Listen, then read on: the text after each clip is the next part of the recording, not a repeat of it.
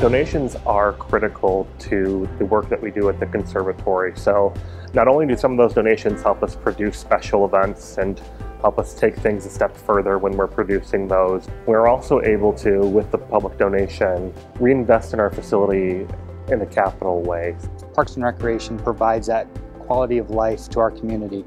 And so without your donations, we couldn't have the, the great atmospheres that we have or the facilities and activities and programs that our community has grown to love and will help us build as a community.